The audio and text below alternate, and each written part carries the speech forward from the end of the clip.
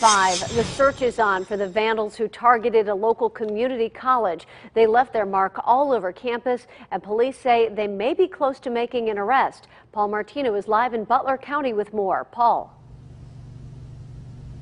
Christine, this is a beautiful, impressive uh, campus for a uh, community college. Uh, it's 300 plus acres tucked away in the woods, and it's used not just by students but by the entire community. However, this past weekend, someone scarred this campus with and vandalism.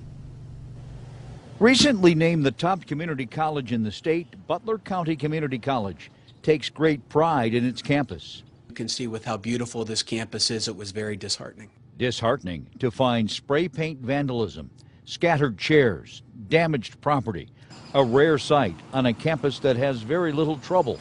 Campus police believe they're close to busting the culprits. I'm confident. I think that we're very close. Uh, we've narrowed it down to just a few people. Campus police say they've seen the suspects on surveillance video, and they've gotten information about this phrase that they spray painted Free Julian J. That's a part of our investigation. We cannot release that right now. Beautification and beauty of our 330 acres is something people take pride in. And uh, yeah, people are very upset about it. And campus police tell me those suspects are not not students. They are close to making an arrest. Meantime, they have cleaned up and fixed most of the vandalism here. Reporting live from Butler Township, Paul Martino, KDKA TV News.